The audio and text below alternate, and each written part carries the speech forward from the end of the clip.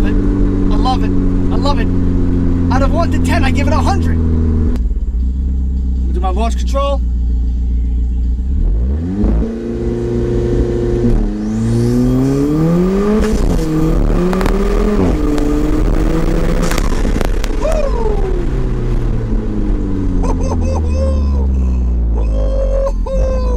Like 70 miles. Gotta tell you guys this.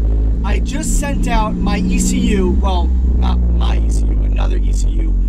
I just sent it out to Eurocompulsion to get tuned because this Alfa needs more power, baby. I mean, believe me, the car's fast enough. But you know, Mikey Turbo always needs a little bit more power. We need to spice things up a little bit, you know what I'm saying? Like this.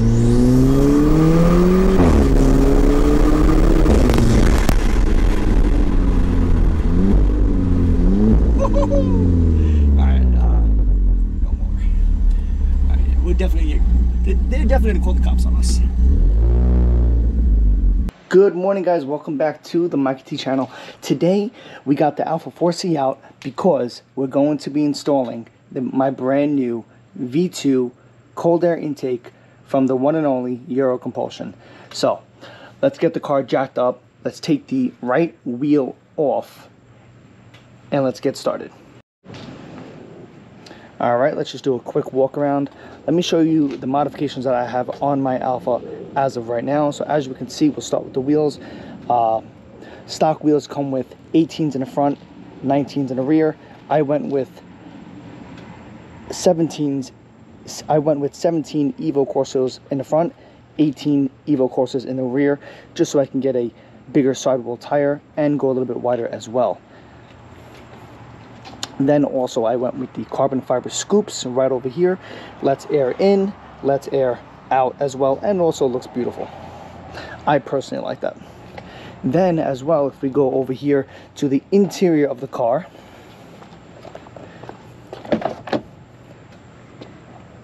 excuse the uh, the rug, it's really dirty. I have the carbon fiber with the Formula One shift light steering wheel with the extended paddles which I absolutely love. It's just eye candy with the Formula One shift lights. Absolutely beautiful. And I recently just ordered lowering springs for the Alfa because I got to get this car lowered. Uh, I've been hanging out with my buddy Vinny. He's got a white Alfa 4C and his car is lowered on the Eibach springs. And the thing just looks nasty. It looks really, really good. And I can't get over it. I mean, I love the way the car looks. You know, even with the wheel gap you know, kind of gives it that mean stance. But I saw his car and it's just lowered and it just looks absolutely mean. So I went ahead and I ordered the Evo, I'm sorry, I went ahead and I ordered the Eibach lowering springs from Eurocompulsion. So this wheel gap right over here, what do we got? Two fingers, three fingers. And these are 17 inch wheels with 215, 45, 17 tires by Federal and I can fit three fingers right here. So we're going to change that. So we're going to be lowering it with the Eibach springs. It should make it, it should drop it about halfway. All right, guys. So I had to, I had to roll over a brick just because my jack is too short to fit under the car. So I had to raise the car. So I rolled over the brick just to raise the height. Now the jack can actually fit under the car on the correct jack point for the back of the car. Because remember, this car has a carbon fiber tub, and if you jack it from the wrong point, you can possibly crack or damage the uh, frame. And you definitely don't want that. So here's a little technique that you can do. Now we're going to jack up the car.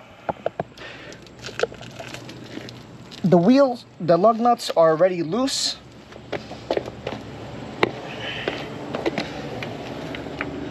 Nice and slow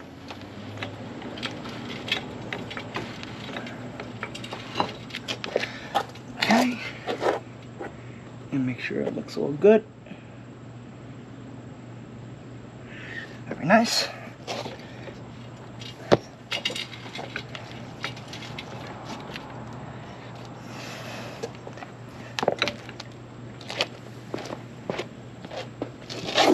All right. And the wheel is officially off the ground.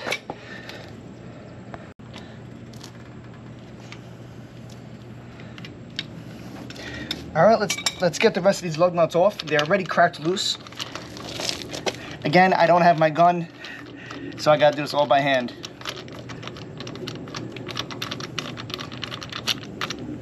All right, and these are the black lug nuts, so you don't want to scratch them, so put them somewhere safe, soft, where they don't get scratched.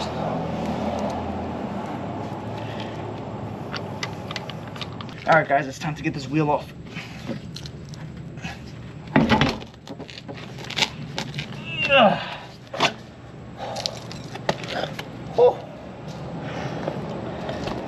All right, guys, now the next thing we have to do, we have to take off the inside liner. All this, the left side and the right side, so that we can access the intake. All right, and just before you continue any further, make sure you disconnect the negative battery because we will be messing with some electric.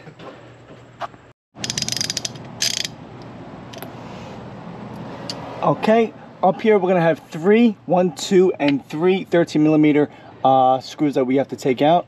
And then we're gonna have another one here, here. I'm sorry if the lighting's bad. Uh, then I'm gonna have one, two, three, four. So yeah, we gotta take all those out. And then after that, the liner will literally just fall right out. So all the bolts are out on this side of the liner. Let's see if she just drops right out. Yep, yep, yep, beautiful. Wow, holy shit. Look at all, this is, this is incredible. Look at the skeleton, the skeleton frame of this car, aluminium, carbon fiber chassis. Oh man, look at that, that is amazing. I'm sorry the lighting isn't better, but wow. All right, let's keep going. Okay guys, next step is, okay, now that we got the liner out, the next step is the MAF sensor right up top over here. All right, we need to disconnect that first. There's a yellow tab, we're gonna disconnect that now. Okay.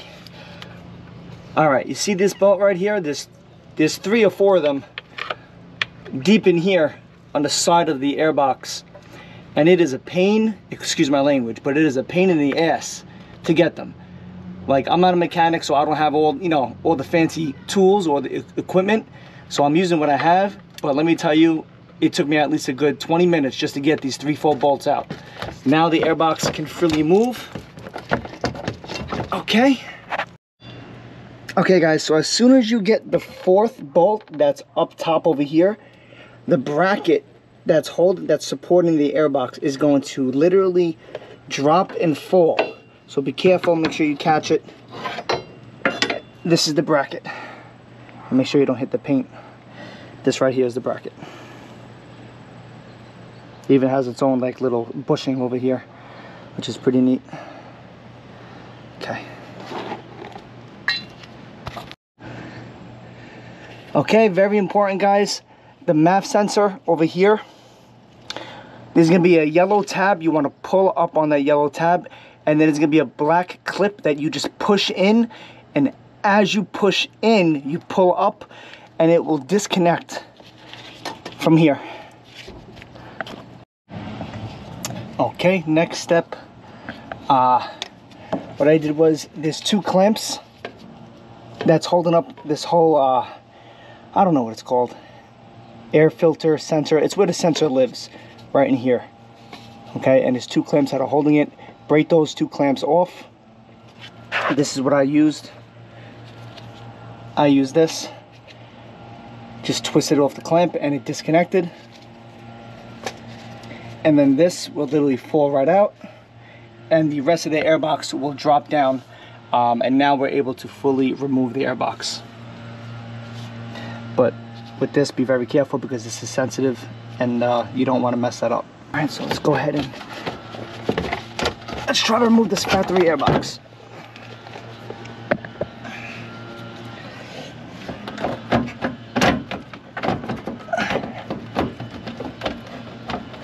Oh, it's a tight fit. Ah, shit. Ah, come on, baby.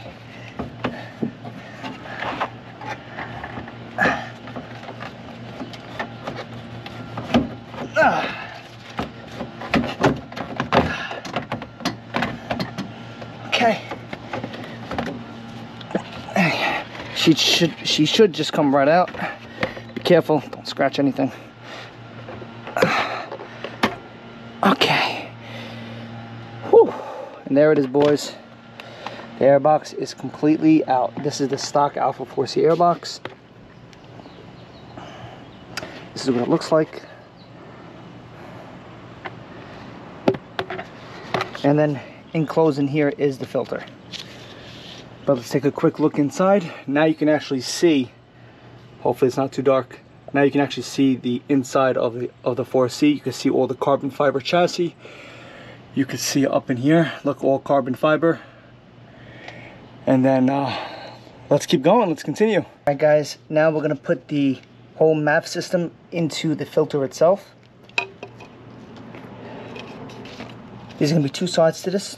One side from this rib is gonna be longer. This side over here is shorter. You wanna put the longer side into the intake itself.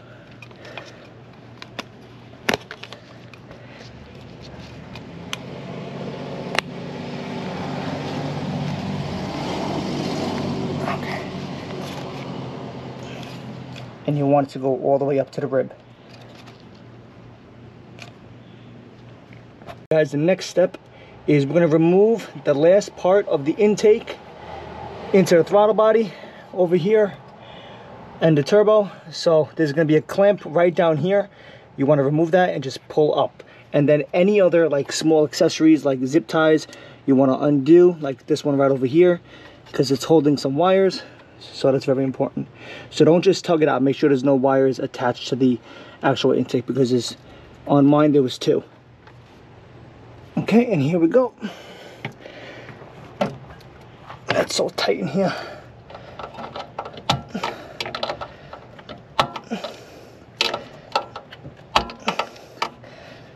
Ah, let me try a different angle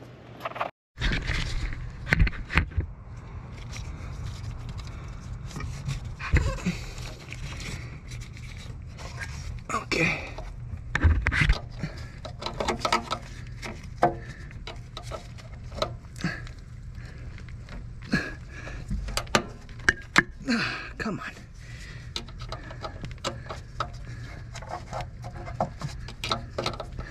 Come on, baby. There we go. That's what I'm talking about. Okay, that is removed. Place that down very gently. And now this should just Actually, let's take the clamp off first. I don't want it falling down. Okay.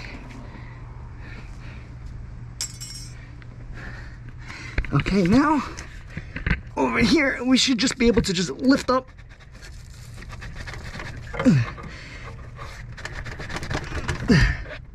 But now we should just be able to lift up and the rest of the stock intake should be able to just come right out. Okay, I'm literally standing in my trunk right now. Okay, we're still gonna be, we still wanna be careful with this because we, you know, just in case you ever need it again. So, okay. And then this over here, hopefully you can see, that's what it looks like. And then down there is also the wastegate and everything. Hopefully that's a good view. We're gonna finally install the Eurocompulsion uh, silicone composite um, intake. I don't know how to get this in. It would help if I read the instructions, probably this way. I mean, who needs instructions anyway, right? This goes like this. Okay. Oh my god. Uh, I mean, uh, I'm not a big guy. I'm only 160 pounds, 5'8", and I can barely maneuver in here. Uh, okay. All right, now, in here, you're gonna see, sorry guys if it's very shaky, but I'm trying the best I can to get you good video. All right. So, want to make sure that the clamp itself is, is uh, accessible so that you can tighten it. That's very important. Then we're gonna All right, so now we're gonna push down on the throttle body.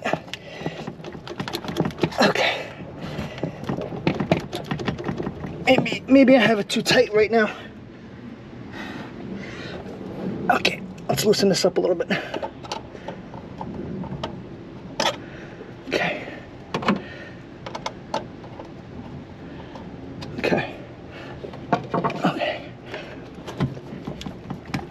Oh yeah, she's sliding in now.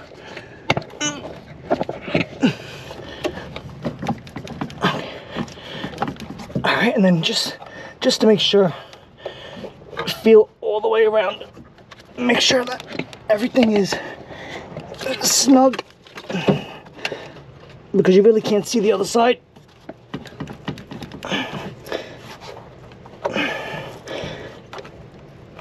All right. Now we're gonna tighten up the clamp and then we will uh, jack the car back up and uh, put the filter on and connect everything else. All right, guys. Before you install, oh, okay, okay, guys, I made a mistake. Before you install the actual silicone hose, make sure you attach the filter itself because it is a very tight, tight fit.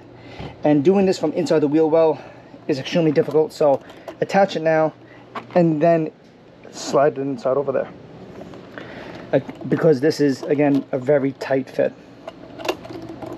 Everything is fully installed. Connected to the throttle body inside, all tightened up over there as well.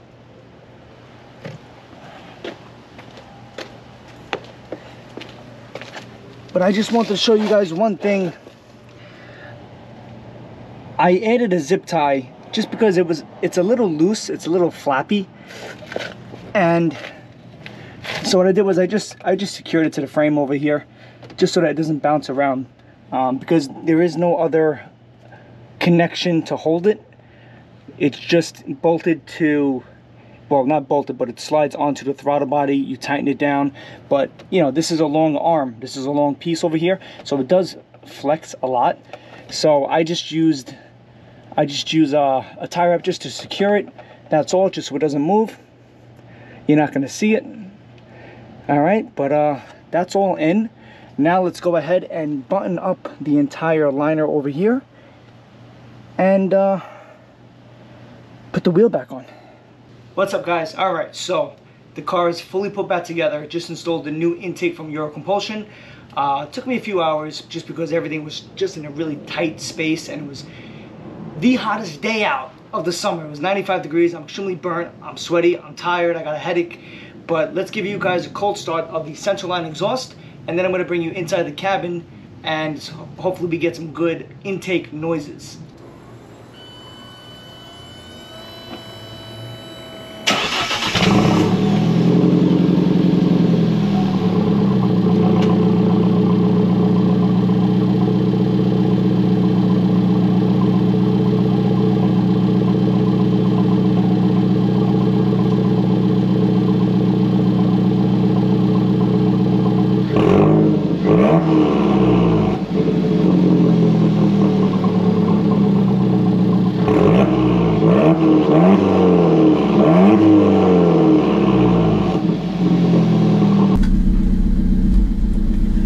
Guys, let's go for our first drive.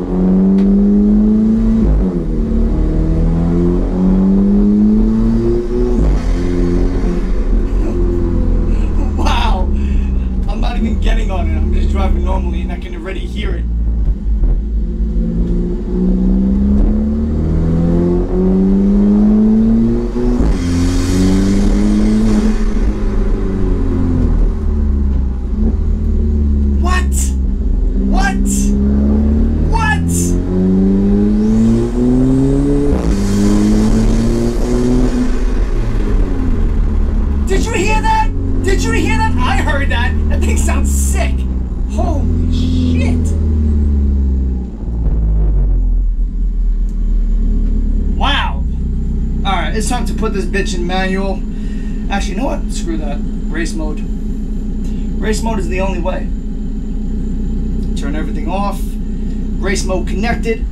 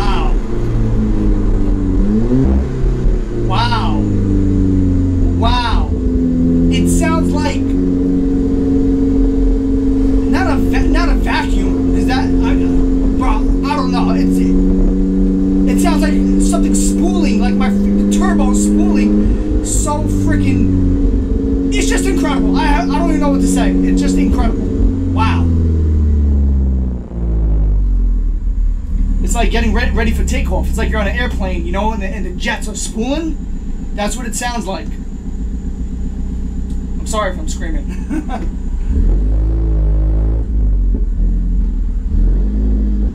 Alright, who's gonna go? Who's gonna go?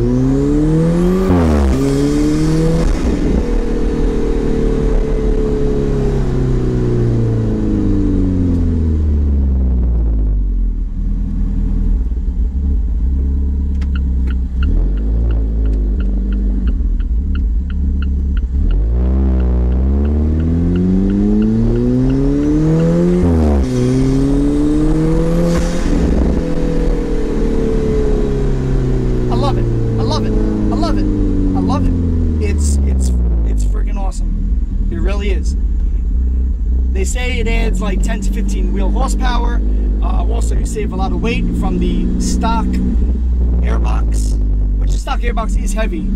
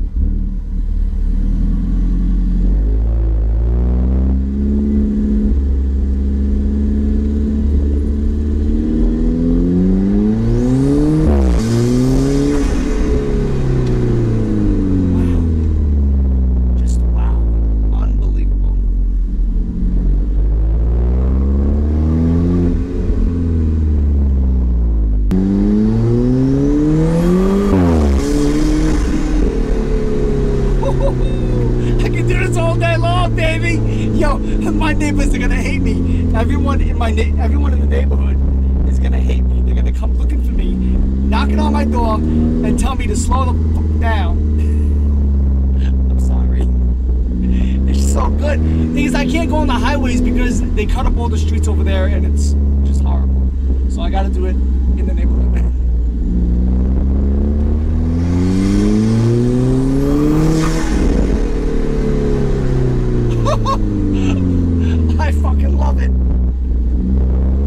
On YouTube? I don't know.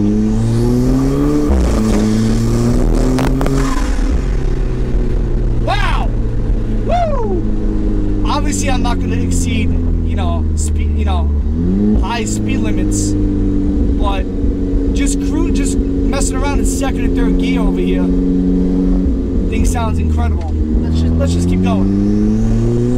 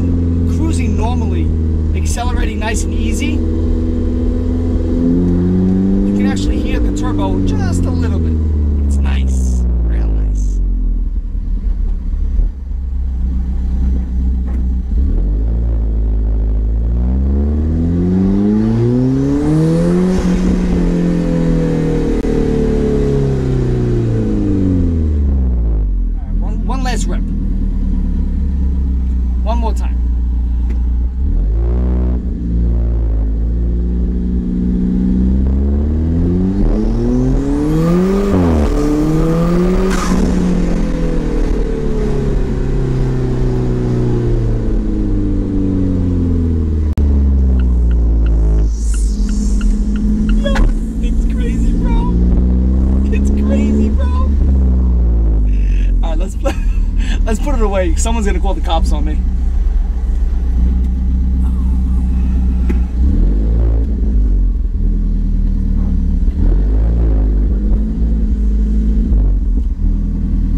All right.